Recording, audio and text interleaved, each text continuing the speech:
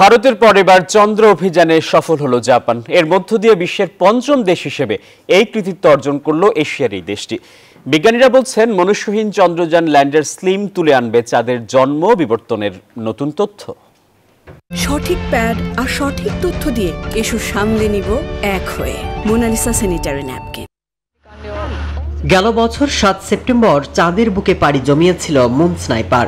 শুক্রবার জাপানের স্থানীয় সময় মধ্যরাতে চাঁদের মাটি ছুঁয়ে ইতিহাস গড়ে ল্যান্ডারটি।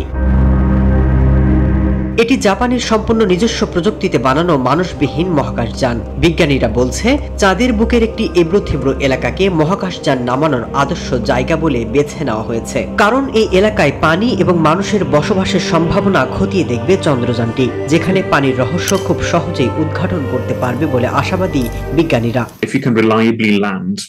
আমি বিশ্বাস করি এর মধ্য দিয়ে জাপানকে বিশ্বের প্রযুক্তির অগ্রগতির উন্নততর স্তরে প্রবেশ করাবে। আমরা আরও রহস্য উদ্ঘাটনে সক্ষম হব। তবে এরই মধ্যে বিজ্ঞানীদের কপালে পড়েছে চিন্তার ভাঁজ। মহাকাশযানটি সৌরবিদ্যুৎ ব্যবস্থায় সমস্যা দেখা দেওয়াতে ভীষণ হুমকির মুখে পড়তে পারে। তবে তা খুব দ্রুত কাটিয়ে ওঠার চেষ্টা চলছে বলেও জানানো হয়েছে।